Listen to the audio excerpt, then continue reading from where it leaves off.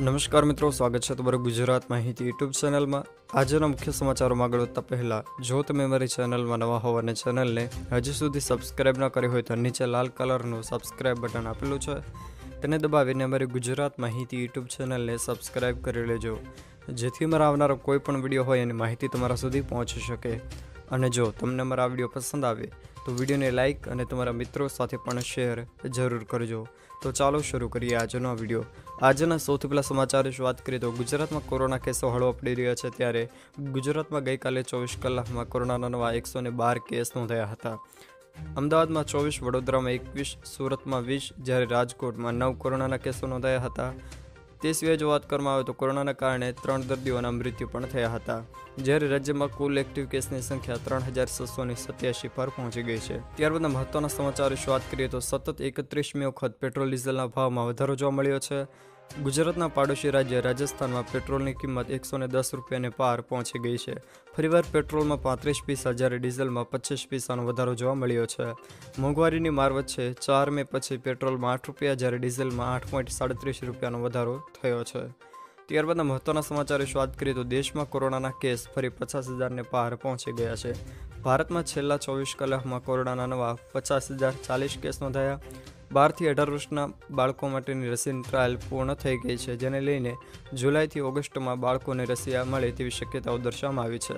કોરોનાનો delta plus variant ખતરનાક છે. જો ન રોકવામાં આવ્યો તો ત્રીજી લહેર આવવાની શક્યતા છે.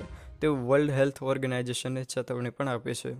ત્યારબાદના મહત્ત્વના સમાચાર વિશે વાત કરીએ તો સિન્ડિકેટ બેંક કેનેરા બેંક સાથે ભળી જશે, તેથી એક જુલાઈથી બેંકનો આઈએફએસસી કોડ પણ બદલાઈ જશે.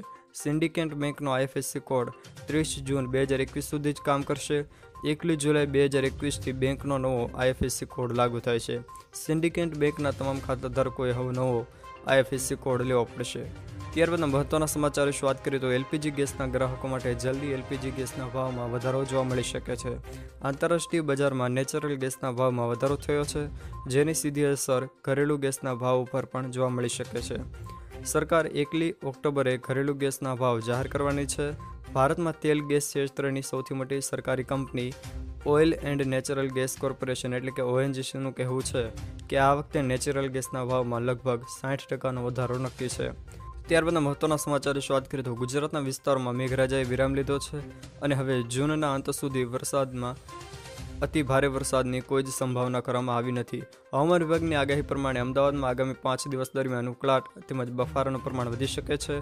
જ્યારે સુરત, વલસાડ, તાપી, પંચમહાલ, અરવલ્લીમાં સામાન્યથી મધ્યમ વરસાદ આગામી ત્રણ દિવસમાં પડી શકે છે. ત્યારબાદ મહત્વના સમાચાર વિશે વાત કરીએ તો જુલાઈમાં સાપ્તાહિક રજાઓ તેમજ તહેવારોના કારણે પંદર દિવસ સુધી બેંકો બંધ રહેશે. જો મિત્રો વીડિયો તમને પસંદ આવ્યો હોય તો વિડીયોને લાઇક કરો, તમારા મિત્રો સાથે શેર કરો અને જો તમે અમારી ચેનલમાં નવા હો તો ચેનલને સબસ્ક્રાઈબ જરૂર કરજો. જેથી અમારા આવનારા કોઈ પણ વીડિયો હોય એની માહિતી તમારા સુધી પહોંચી શકે.